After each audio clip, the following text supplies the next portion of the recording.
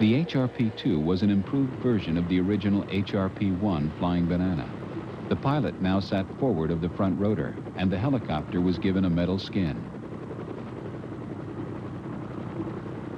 Its successor, the H-21 Workhorse, was designed at the height of the Cold War as a high-altitude rescue helicopter, able to pick up returning bomber crews if they went down in the mountains of Alaska. It was a challenge to any new pilot.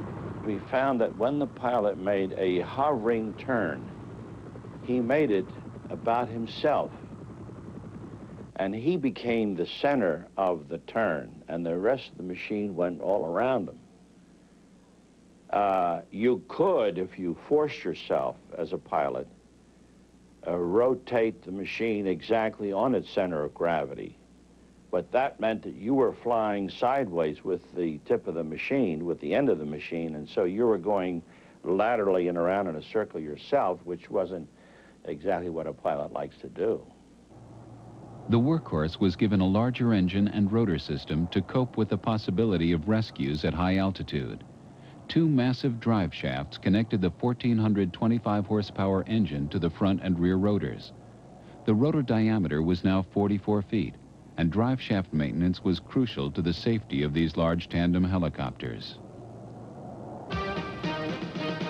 The H-21 lived up to its name. It was a real workhorse, able to operate in a variety of configurations and perform many different jobs.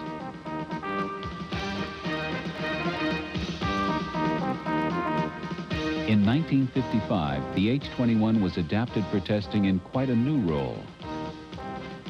And because of its size and weight and capacity of about uh, 13,000 pounds gross weight, it was used as the test bed to mount the uh, machine guns uh, down at Fort Rucker.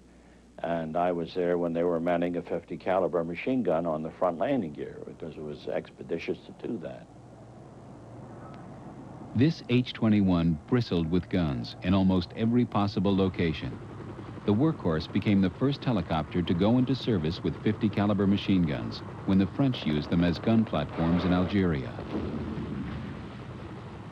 But its major war service took place in Vietnam in the early years of American non-combat support to the South Vietnamese Army from 1961 to 1963.